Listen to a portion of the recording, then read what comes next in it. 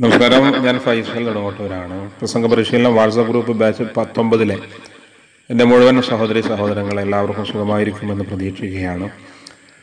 നോക്കൂ ആശംസാ പ്രസംഗമാണ് നമ്മൾ അവസാനമായി പഠിച്ചത്. ഇതുവരെ സ്വാഗതം അധ്യക്ഷ പ്രഭാഷണം ഉദ്ഘാടനം അതുപോലെ ആശംസാ പ്രഭാഷണം. അപ്പം ഇനി നമുക്ക് മുഖ്യ പ്രഭാഷണമാണ് പഠിക്കാനുള്ളത്. എല്ലാവരും ഗ്രൂപ്പിൽ ഇന്നലെ ആശംസാ പ്രസംഗം പ്രസംഗിച്ചതിനെ പഠിച്ചു. അപ്പോൾ നമുക്കിനി മുഖ്യ പ്രഭാഷണം പഠിക്കണം. മുഖ്യ പ്രഭാഷണമാണ് ഏറ്റവും പ്രധാനം. അപ്പം അതിനു മുമ്പ് ഒരു പ്രസംഗം എങ്ങനെ തയ്യാറാക്കണം അതുമായി ബന്ധപ്പെട്ട് കുറച്ച് കാര്യങ്ങളൊക്കെയാണ് നമുക്ക് മനസ്സിലാക്കേണ്ടത് നമുക്ക് പഠിക്കാനുള്ളത്. എനിക്ക് പല ആളുകളും വിളിക്കാറുണ്ട്. ചിലർ ചോദിക്കും എനിക്ക് അടുത്തതാഴ്ച ഒരു പ്രസംഗമുണ്ട് ഒരു സ്വാഗതമുണ്ട് അല്ലെങ്കിൽ ഒരു ഉദ്ഘാടനമുണ്ട് അതല്ല ഒരു ആശംസാ പ്രഭാഷണമുണ്ട് എനിക്കൊന്ന് പറഞ്ഞു തരുമോ? എനിക്കൊരു പ്രഭാഷണം എഴുതി തരുമോ എന്നൊക്കെ ചോദിക്കാറുണ്ട്. പല ആളുകളും വിളിക്കാറുണ്ട് വാട്സാപ്പിലൂടെയൊക്കെ. അതുപോലെ തന്നെ നേരിട്ട് വിളിക്കാറൊക്കെ ഉണ്ട്. അപ്പോൾ നമ്മുടെ പ്രസംഗം നമ്മൾ തന്നെ തയ്യാറാക്കണം. മറ്റൊരാൾ എഴുതി അത് പഠിച്ച് പ്രസംഗിക്കുമ്പോൾ അത് ഉചിതമല്ല. കാരണം എന്റെ ഭാഷയല്ല ഒരു പക്ഷേ നിങ്ങൾക്കുണ്ടാവുക.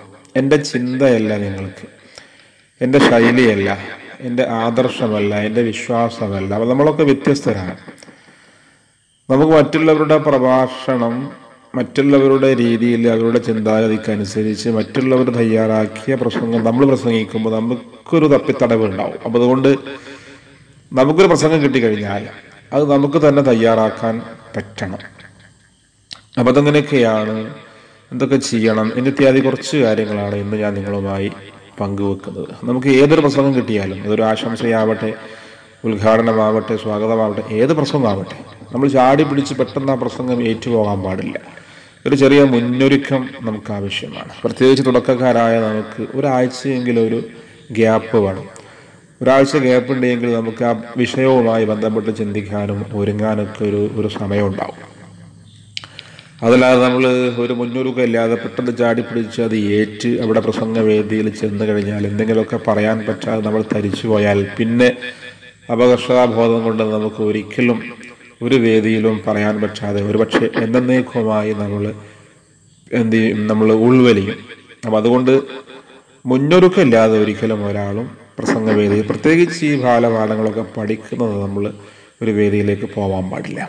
അപ്പോൾ ഒരാഴ്ചത്തെ ഒരു ഗ്യാപ്പ് അല്ലെങ്കിൽ നാല് ദിവസത്തെ ഏറ്റവും ചുരുങ്ങിയത് ഒരു നാല് ദിവസങ്ങൾ ഒരു ഗ്യാപ്പ് വേണം എന്നിട്ട് നമ്മൾ വിഷയം തയ്യാറാക്കുക പ്രസംഗിക്കാൻ പോവേണ്ട സ്ഥലത്തെക്കുറിച്ച് എന്താണ് നമ്മുടെ വിഷയം ആരുടെ മുമ്പിലാണ് സംസാരിക്കേണ്ടത് ഓഡിയൻസ് ആരായിരിക്കും എത്ര സമയം പറയണം ഇതൊക്കെ മുൻകൂട്ടി മനസ്സിലാക്കുക നന്നായിട്ട് ഒരുങ്ങുക.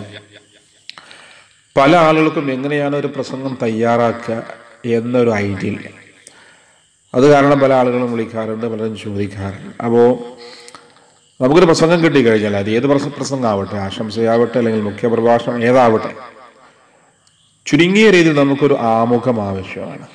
അതുപോലെ ആരംഭം ആവശ്യമാണ്. പിന്നെ വിഷയം വേണം. പിന്നെ ഉപസംഹരിക്കണം. ആമുഖം എന്ന് പറയുമ്പോൾ മുമ്പിലുള്ള ആളുകളെ വണങ്ങുക. അതിനാണ് ഈ ആമുഖം എന്ന് പറയുന്നത്. ആരംഭം എന്ന് പറയുമ്പോൾ വിഷയത്തിലേക്ക് അങ്ങ് പ്രവേശിക്കുക. അതാണ് ആരംഭം. പിന്നെ വിഷയം അവതരിപ്പിക്കുക മൂന്നാമതായി വിഷയം അവതരിപ്പിക്കലാണ്. നാലാമതായി ഉപസംഹരിക്കലാണ് ഉപസംഹാരമാണ്. ഏറ്റവും ചുരുങ്ങിയത് ഈ ഒരു നാല് ഘട്ടം പ്രത്യേകം നമ്മൾ അറിയുക അത് കൃത്യമായി തയ്യാറാക്കുക. നമ്മൾ നന്നായിട്ട് വ്യക്തമായ ഒരു പ്ലാൻ നമുക്ക് പ്രസംഗത്തെക്കുറിച്ച് ആദ്യം വേണം. ഇപ്പോൾ നമ്മളൊരു വീട് വെക്കുകയാണെങ്കിൽ നമുക്ക് കൃത്യമായ ഒരു പ്ലാൻ ഉണ്ടാവും. എത്ര സ്ക്വയർ ഫീറ്റ് വേണം? എത്ര റൂം വേണം? എവിടെ ആയിരിക്കണം? കിച്ചൺ അല്ലേ? അതിന് എത്ര ആയിരിക്കും എത്ര എത്ര വരും ബഡ്ജറ്റ് ഇങ്ങനെ കൃത്യമായ ഒരു ഒരു രൂപരേഖ ഒരു പ്ലാന് നമുക്കുണ്ടാവും. ഇതുപോലെ നമുക്ക് പ്രസംഗിക്കാൻ പോകുന്ന നമ്മുടെ പ്രസംഗത്തെക്കുറിച്ച് ഒരു കൃത്യമായ പ്ലാൻ നമ്മൾ മുൻകൂട്ടി തയ്യാറാക്കണം. അത് മസ്റ്റാണ് അതുപോലെ തന്നെ ഈ പ്രഭാഷണ കലയുടെ ബാലപാഠങ്ങളൊക്കെ പഠിക്കുന്ന തുടക്കക്കാരായ നമ്മൾ ആദ്യം പ്രസംഗം പൂർണമായി തന്നെ എഴുതണം. കംപ്ലീറ്റ് പ്രസംഗം എഴുതാം പിന്നെ കുറച്ച് കഴിയുമ്പോൾ നമുക്ക് എന്ത് ചെയ്യാം? ഈ എഴുതുന്ന ശീലമൊക്കെ നമുക്ക് ഉപേക്ഷിക്കാം. പിന്നെ ആവശ്യമെങ്കിൽ ആ പോയിന്റ്സുകൾ മാത്രം പോയിന്റുകൾ മാത്രം എഴുതുക. ഒരു കുറിപ്പ് കയ്യിൽ അപ്പോൾ ആദ്യം ആദ്യം എല്ലാവരും ഒന്ന് എഴുതുക. എഴുതി കഴിഞ്ഞാൽ അത് അതെന്ത് ചെയ്യുക? പല ആവർത്തി വായിച്ച് നമുക്ക് ഉറക്ക വായിക്കുക. എഴുതിയത് അപ്പാടെ കൊണ്ടുപോയി അതിങ്ങനെ നോക്കി പ്രസംഗിക്കാൻ പാടില്ല. നമുക്ക് ഒരാഴ്ച മുമ്പ് ഒരു പ്രസംഗം കിട്ടി. ആ പ്രസംഗം നമ്മൾ തയ്യാറാക്കി അത് എഴുതി അത് ഒരുപാട് തവണ നമ്മൾ വായിച്ചു ഉറക്ക വായിച്ചു. പിന്നെ പ്രസംഗവേദിയിൽ ചെന്ന് നമുക്ക് ആ വായിച്ചതിൽ നമുക്ക് ഓർമ്മയുള്ള കാര്യങ്ങളൊക്കെ അങ്ങനെ പറഞ്ഞാൽ മതി. എഴുതിയതുപോലെ തന്നെ പറയണമെന്നില്ല.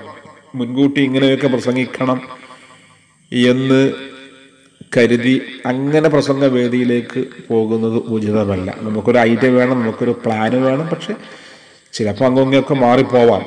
അതിലൊന്നും കുഴപ്പമില്ല. ഏതായാലും കൃത്യമായ പ്ലാൻ തുടക്കക്കാർ നന്നായിട്ട് എഴുതുക എഴുതിയത് കൃത്യമായി ധാരാളം വായിക്കുക പിന്നെ പതുക്കെ പതുക്കെ എഴുത്ത് എഴുത്ത് ഒഴിവാക്കുക. പിന്നെ ആവശ്യമായ ചില പോയിന്റ്സുകൾ മാത്രം എഴുതുക കയ്യിലൊരു കുറിപ്പ് മാത്രം. അത് നോക്കി പ്രസംഗിക്കുക. ഈ കുറിപ്പ് നമ്മുടെ കയ്യിലുണ്ടാകുമ്പോഴും എപ്പോഴും അങ്ങനെ ആ കുറിപ്പിലേക്ക് നോക്കാൻ പാടില്ല. അത് പതുക്കെ ആളുകളുമായി സംസാരിക്കുന്നു. ഇടയ്ക്ക് ശ്രോതാക്കൾ അറിയാത്ത രീതിയിൽ ഒന്ന് ആ കുറിപ്പിലേക്ക് നോക്കുന്നു. എപ്പോഴും ആ കുറിപ്പിലേക്ക് അങ്ങനെ നോക്കുമ്പോൾ കയ്യിലുള്ള കുറിപ്പിലേക്ക് നോക്കുമ്പോൾ ആളുകൾക്ക് അതൊരു അഭംഗിയാണ്. അപ്പോൾ ഇതൊക്കെ ഒരു നിരന്തര പരിശീലനത്തിലൂടെ നമുക്ക് നേടിയെടുക്കാവുന്നതേ ഉള്ളൂ. അപ്പോൾ ഇന്ന് പല ആളുകളും പല രീതിയിലാണ് പ്രസംഗം തയ്യാറാക്കുക. നമുക്ക് നമ്മുടേതായ രീതിയിലും തയ്യാറാക്കി നോക്കാം നമുക്ക് എഴുതി നോക്കാം. ആദ്യം നമുക്ക് നമുക്ക് ഒരു ആമുഖം വേണം. പല ആളുകളും സഭ നോക്കിയാണ് ആമുഖം പറയാം. ആരൊക്കെയാണ് അവിടെ? ആരൊക്കെയാണ് വേദിയിൽ? ആരൊക്കെയാണ് സദസ്സ്? അതൊക്കെ നോക്കി സഭ നോക്കി ആമുഖം പറയാം. എങ്കിലും ആ പ്രോഗ്രാം നോട്ടീസ് കയ്യിലുള്ളത് നല്ലതാണ്. ചില ആളുകളെ പേരൊന്നും നമുക്കറിയില്ല അപ്പോൾ നമുക്ക് പേരൊക്കെ നോക്കി പറയാം. അതുപോലെ ആരംഭം ഹൃദ്യമാവണം. വിഷയത്തിലേക്ക് അങ്ങോട്ട് പ്രവേശിക്കലാണ് ആരംഭം. ആരംഭം എന്ന് പറയുന്നത്. അപ്പോൾ അത് പല രീതിയിൽ നമുക്ക് ആരംഭിക്കാൻ പറ്റും. ഒരു വിഷയം ഏത് വിഷയമാവട്ടെ ആ വിഷയവുമായി ബന്ധപ്പെട്ട് അതിനോട് സാമ്യമുള്ള അതിനോ അതിലേക്ക് എന്തെങ്കിലുമൊക്കെ അതിനോട് യോജിക്കുന്ന ഒരു കൊച്ചു കഥ പറയാം. എന്തെങ്കിലുമൊക്കെ ചോദ്യങ്ങൾ ചോദിക്കാം. ഉത്തരങ്ങൾ ഒരുപക്ഷെ ശ്രോതാക്കൾ പറയാം പറയാതിരിക്കാം. എങ്കിലും ഒരു ചോദ്യം ചോദിക്കാം ഒരു തമാശ പറയാം. വിഷയവുമായി ബന്ധപ്പെട്ട് നമ്മുടെ സ്വ അനുഭവം എന്തെങ്കിലുമൊക്കെ ഉണ്ടെങ്കിൽ അത് പറയാം. അല്ലെങ്കിൽ ആനുകാലിക എന്തെങ്കിലുമൊക്കെ വാർത്തകൾ വിഷയവുമായി ബന്ധപ്പെട്ട എന്തെങ്കിലുമൊക്കെ ഉണ്ടെങ്കിൽ അത് പറയാം. അങ്ങനെയൊക്കെയാണ് വിഷയത്തിലേക്ക് നമ്മൾ പ്രവേശിക്കേണ്ടത്. അങ്ങനെയാവണം ആരംഭം. അപ്പോൾ ആമുഖവും ആരംഭവും കൃത്യമാവുക അത് നമ്മൾ കാലയെ കൂട്ടി പഠിച്ച് വേദിയിലേക്ക് പോവുക കാരണം ആമുഖം പ്രധാനമാണ് ആരംഭം അതിനേക്കാൾ പ്രധാനമാണ്. തുടക്കം നന്നായാൽ പകുതി നന്നായി എന്നല്ലേ? നമുക്ക് മുൻകൂട്ടി പഠിച്ച് റെഡിയായി കാലയെ കൂട്ടി തയ്യാറായി നമ്മൾ പോയി കഴിഞ്ഞാൽ ആ ഒരു ഫസ്റ്റിൽ ആ ഒരു പ്രശ്നം ആ സഭാകമ്പൊക്കെ നമുക്ക് മറികടക്കാൻ പറ്റും. തുടക്കം നന്നാക്കുക ആമുഖവും ആരംഭവും ഹൃദ്യമാക്കുക അതിനായി പ്രത്യേകം ഒരുങ്ങുക മുൻകൂട്ടി ഒരുങ്ങുക. നല്ല നല്ല പ്രഭാഷകർക്ക് അങ്ങനെയാണ് എങ്ങനെ ആരംഭിക്കണം എന്ന് കൃത്യമായി അവർ പ്ലാൻ ചെയ്യുമായിരുന്നു എന്ന അപ്പോൾ നമ്മൾ ആമുഖവും ആരംഭവും കൃത്യമായി പ്ലാൻ ചെയ്യുക അത് കാലക്കൂട്ടി പഠിക്കാം. പിന്നെ വേണമെങ്കിൽ നമുക്കൊരു ക്വസ്റ്റ്യൻ മേക്കിംഗ് ടെക്നിക്ക് നമുക്ക് ഉപയോഗിക്കാം. ഇപ്പോൾ ഇന്നലെ വ്യാഴാഴ്ച ഇവിടെ ടെൻഷൻ എന്ന വിഷയമായിരുന്നു. അതുമായി ബന്ധപ്പെട്ട ഒരു ഒരു പ്രഭാഷണ ഒരു പ്രസംഗ പരിശീലന ക്ലാസ്സാണ് ഇന്നലെ വ്യാഴാഴ്ച ഇവിടെ ഉണ്ടായത്. അപ്പോൾ ഇവിടെ നമുക്കതുമായി ബന്ധപ്പെട്ട് ഒരു ക്വസ്റ്റ്യൻ മേക്കിംഗ് ഉദാഹരണമായിട്ട് നമുക്ക് എന്താണ് ടെൻഷൻ എന്തുകൊണ്ടാണ് ടെൻഷൻ ടെൻഷൻ വന്നാൽ അതുകൊണ്ടുള്ള ദോഷങ്ങൾ എന്തൊക്കെയാണ്? ടെൻഷൻ പോസിറ്റീവാണോ നെഗറ്റീവാണോ? അതുകൊണ്ട് പല ഗുണങ്ങളും ഉണ്ടോ അതല്ല ദോഷങ്ങൾ മാത്രമാണോ ഉള്ളത്? ടെൻഷൻ വന്നാൽ നമ്മുടെ ബോഡിയിൽ ഉണ്ടാകുന്ന മാറ്റങ്ങൾ എന്തൊക്കെയാണ്? എന്താണ് ടെൻഷനെ മറികടക്കാനുള്ള പരിഹാര മാർഗങ്ങൾ എന്തെല്ലാമാണ്? കണ്ടോ ഇങ്ങനെ കുറച്ച് ചോദ്യങ്ങൾ. What which when where why ഇങ്ങനെയുള്ള കുറച്ച് ക്വസ്റ്റ്യൻസ് നമുക്ക് ക്രിയേറ്റ് ചെയ്യാം. അതിന്റെ ആൻസർ പറയുമ്പോൾ തന്നെ നമുക്ക് ഒരുപാട് കാര്യങ്ങൾ പറയാൻ പറ്റും. അവ എന്താണ് ടെൻഷൻ? അതൊന്ന് വിശദീകരിക്കാം. പിന്നെ എന്തുകൊണ്ടാണ് ടെൻഷൻ? അത് വിശദീകരിക്കാം. അതുകൊണ്ടുള്ള ഗുണദോഷങ്ങൾ എന്തൊക്കെയാണ്? അത് വിശദീകരിക്കാം. ടെൻഷൻ വന്നാൽ നമ്മിലുണ്ടാകുന്ന മാറ്റങ്ങൾ എന്തൊക്കെയാണ്? അതൊന്ന് പറഞ്ഞു കൊടുക്കുക പിന്നെ അവസാനം അതിന്റെ പരിഹാര മാർഗങ്ങളൊക്കെ ഒന്ന് പറയാം. അതുകൊണ്ട് നിങ്ങൾ അപ്പോൾ ഇങ്ങനെയാണ്. അപ്പോൾ ഓരോന്നിനോടും യോജിക്കുന്ന കഥ പറയാം അനുഭവങ്ങൾ പറയാം. അപ്പോൾ ആദ്യം നമുക്ക് ഒന്നാമത്തെ പോയിന്റ് എന്താണ് ടെൻഷൻ എന്നാണ്. അപ്പോൾ അതൊന്ന് വിശദീകരിക്കുക എന്താണ് ടെൻഷൻ അതുമായി ബന്ധപ്പെട്ട് നമുക്കുണ്ടായ എന്തെങ്കിലുമൊക്കെ അനുഭവങ്ങളോ കഥയോ തമാശയോ ഒക്കെ ഉണ്ടെങ്കിൽ പറയാം. അപ്പം ടെൻഷൻ എന്താണ് എന്ന് വ്യക്തമായി കഴിഞ്ഞാൽ പിന്നെ എന്തുകൊണ്ടാണ് ടെൻഷൻ എന്തുകൊണ്ടാണ് ടെൻഷൻ വരുന്നത്? അതുമായി ബന്ധപ്പെട്ട് നമുക്കുണ്ടായ അനുഭവങ്ങൾ നമുക്കുണ്ടായ എന്തെങ്കിലുമൊക്കെ ആരുടെയെങ്കിലുമൊക്കെ മറ്റ് അനുഭവങ്ങൾ എന്തെങ്കിലും പത്രവാർത്ത അല്ലെങ്കിൽ വാട്സാപ്പിൽ വന്ന അല്ലെങ്കിൽ ഫേസ്ബുക്കിലോ യൂട്യൂബിലൊക്കെ നമ്മൾ കണ്ട എന്തെങ്കിലുമൊക്കെ ഒരു വാർത്ത ഒരു ഉദ്ധരണി എന്തെങ്കിലും തമാശ എന്തെങ്കിലുമൊക്കെ ചോദ്യം ചോദിക്കുക വല്ല അനുഭവങ്ങൾ പങ്കുവെക്കുക അങ്ങനെ അത് പറഞ്ഞ് പിന്നെ അടുത്ത പോയിന്റിലേക്ക്. അങ്ങനെ ഓരോന്നും ഒരു പ്രധാനപ്പെട്ട ഒരു ആശയം പറയാം അതുമായി ബന്ധപ്പെട്ട കാര്യങ്ങളൊക്കെ പറയാം പിന്നെ അടുത്തൊരു ആശയത്തിലേക്ക് പോവുക അതുമായി ബന്ധപ്പെട്ട കാര്യങ്ങളൊക്കെ പറയാം പിന്നെ അടുത്തൊരു ആശയത്തിലേക്ക് പോവുക അങ്ങനെ അങ്ങനെ അങ്ങനെ ഒരു നാലോ അഞ്ചോ പോയിന്റ്. ഇപ്പം ഇവിടെ എന്താണ് ടെൻഷൻ? എന്തുകൊണ്ട് ടെൻഷൻ? അതിന്റെ ഗുണങ്ങളെന്ത്? അതിന്റെ ദോഷങ്ങളെന്ത്? ടെൻഷൻ വന്നാൽ തമ്മിലുണ്ടാകുന്ന മാറ്റങ്ങളെന്ത്? പരിഹാര മാർഗങ്ങളെന്ത് ഇങ്ങനെ ഒരു അഞ്ചാറ് ചോദ്യം ഉണ്ടാക്കി കഴിഞ്ഞാൽ അതിന്റെ ആൻസർ നമ്മൾ പറയുമ്പോൾ തന്നെ ഒരുപാട് സമയം നമുക്ക് പറയാൻ പറ്റും. നമ്മളിങ്ങനെ പറയുമ്പോൾ പലതും നമ്മൾ അറിയാതെ നമ്മുടെ മനസ്സിൽ അങ്ങനെ തെളിഞ്ഞു വരും. നമ്മുടെ ഈ മെമ്മറി സ്ക്രീനിൽ പലതും തെളിഞ്ഞു വരും. അങ്ങനെ ഓരോന്നും ഓരോ പോയിന്റ് പറയാം ഓരോ ആശയം പറയാം പിന്നെ അടുത്ത ആശയം പറയാം. അങ്ങനെ അങ്ങനെ അതുമായി ബന്ധപ്പെട്ട് വിശദീകരിക്കുക എന്തെങ്കിലുമൊക്കെ കുറച്ച് ചോദ്യങ്ങളൊക്കെ ചോദിക്കുക. അങ്ങനെ കാര്യങ്ങളൊക്കെ പറഞ്ഞു കഴിഞ്ഞാൽ പിന്നെ എന്ത് ചെയ്യണം? പ്രധാനപ്പെട്ട കാര്യങ്ങൾ നമ്മൾ ഇതുവരെ സംസാരിച്ച പ്രഭാഷണത്തിൽ പ്രധാനപ്പെട്ട കാര്യങ്ങളൊക്കെ ഒന്ന് ചുരുക്കി വിശദീകരിക്കുക. പ്രസംഗം എന്ന് പറഞ്ഞു കഴിഞ്ഞാൽ രണ്ട് മണിക്കൂർ പറയേണ്ട കാര്യം രണ്ട് മിനിറ്റായി പറയാനും രണ്ട് മിനിറ്റ് പറയേണ്ട കാര്യം രണ്ട് മണിക്കൂറായി നീട്ടിപ്പറയാനും പറ്റുക എന്നതാണ്. അതാണ് പ്രഭാഷണകല. അപ്പോൾ നമ്മൾ പ്രസംഗിക്കുമ്പോൾ ഒരു അരമണിക്കൂർ അല്ലെങ്കിൽ ഒരു മുക്കാൽ മണിക്കൂർ അല്ലെങ്കിൽ ഒരു മണിക്കൂർ പ്രസംഗിച്ചു കഴിഞ്ഞാൽ പിന്നെ അവസാനിപ്പിക്കും മുമ്പ് അതിലെ പ്രധാനപ്പെട്ട കാര്യങ്ങൾ ഒന്ന് ചുരുക്കി ഒരു രണ്ട് മിനിറ്റോ ഒരു മൂന്ന് മിനിറ്റോ ഒക്കെ ഒന്ന് പറയാം. അങ്ങനെ ജനങ്ങൾക്ക് ആശ്വാസം പകർന്ന് നല്ല വാക്കുകളൊക്കെ പറഞ്ഞ് പിന്നെ കൃത്യമായി മുൻകൂട്ടി തയ്യാറാക്കിയ രീതിയിൽ തന്നെ നന്നായി ഉപസംഹരിക്കുക. ഉപസംഹാരവും നമ്മൾ കൃത്യമായി കാലെ കൂട്ടി തയ്യാറാക്കുക. കാരണം എന്താ? തുടക്കം നന്നായാൽ പകുതി നന്നായി ഒടുക്കം നന്നായാലോ മുഴുവൻ നന്നായി എന്ന് ആളുകൾ എപ്പോഴും ഒടുക്കവും തുടക്കവും പ്രത്യേകം ശ്രദ്ധിക്കും.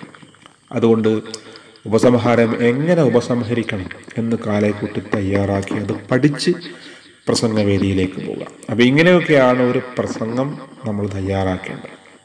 ഓക്കെ. ഏതായാലും നമുക്ക് ഇനി മുഖ്യ പ്രഭാഷണം എങ്ങനെയാണ് എന്ന് പഠിക്കാം.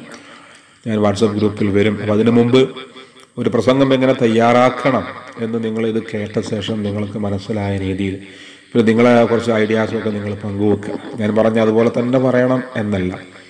നിങ്ങൾക്കുണ്ടാവുമല്ലോ പ്രത്യേകിച്ച് പല ആശയങ്ങളൊക്കെ. അതൊക്കെ ഒന്ന് എല്ലാവരും ഗ്രൂപ്പിൽ പങ്കുവെക്കുക നമുക്ക് നാളെയോ മറ്റന്നാളോ ഒക്കെ ആയിട്ട് മുഖ്യ പ്രഭാഷണം വാട്സാപ്പ് ഗ്രൂപ്പിൽ പ്രസംഗിച്ച് തന്നെ പഠിക്കണം. അതോടൊപ്പം തന്നെ ഇവിടെ വളാഞ്ചേരി ബ്രൈറ്റ് അക്കാഡമിയിൽ വന്നുകൊണ്ടും നമുക്ക് പഠിക്കണം. ഇന്നലെ വ്യാഴാഴ്ച ഇന്നലെ ഒരുപാട് ആളുകൾ വന്നിരുന്നു. ഇനി അടുത്ത ഞായറാഴ്ചയോ അടുത്ത വ്യാഴാഴ്ചയോ നിങ്ങൾക്ക് സൗകര്യം കിട്ടുമ്പോൾ നിങ്ങൾ വരണം. പ്രസംഗം പ്രസംഗിച്ച് തന്നെ പഠിക്കണം. അപ്പോൾ അതിനെല്ലാവരെയും ഞാൻ ഈ ബ്രൈറ്റ് അക്കാഡമിയിലേക്ക് ഹൃദ്യമായി ക്ഷണിക്കുകയാണ് സ്വാഗതം ചെയ്യുകയാണ്. ഇത്രയും സമയം എന്നെ ശ്രമിച്ച നിങ്ങൾക്ക് എല്ലാവർക്കും എന്റെ സന്തോഷം അറിയിച്ചുകൊണ്ട് എല്ലാവരും ഒരു പ്രസംഗം എങ്ങനെ തയ്യാറാക്കുക അതുമായി ബന്ധപ്പെട്ട് നിങ്ങൾക്കറിയാവുന്ന കാര്യങ്ങളൊക്കെ ഒന്ന് ഗ്രൂപ്പിൽ വന്ന് പങ്കുവെക്കുക. നാളെയോ മറ്റന്നാളൊക്കെ ആയിട്ട് നമുക്ക് മുഖ്യ പ്രഭാഷണം എങ്ങനെയാണ് എന്ന് പഠിച്ച് വാട്സപ്പ് ഗ്രൂപ്പിലൂടെ പ്രസംഗിച്ച് തന്നെ ഒന്ന് പഠിക്കാം. ഒന്ന് പഠിക്കണം നമുക്ക്. അപ്പോൾ ഞാൻ അവസാനിപ്പിക്കുകയാണ്. എല്ലാവർക്കും നന്ദി. എല്ലാവർക്കും നല്ലത് വരട്ടെ. എല്ലാവിധ വിജയാശംസകളും നേരുന്നു.